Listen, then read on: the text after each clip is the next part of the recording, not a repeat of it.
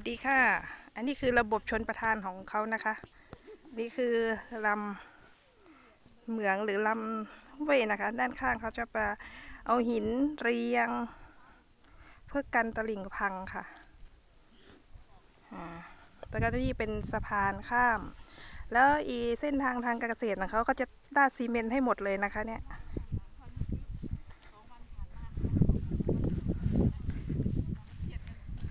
นี่นะคะเนี่ยมันจะเป็นแถวยาวไปเลยค่ะ แล้วอีตรงด้านข้างของเออลำเหมืองนี่มันจะมีทางรถวิ่งนะคะ เอาไว้สำหรับลำเลียงผลผลิตทางการเกษตรค่ะของที่นี่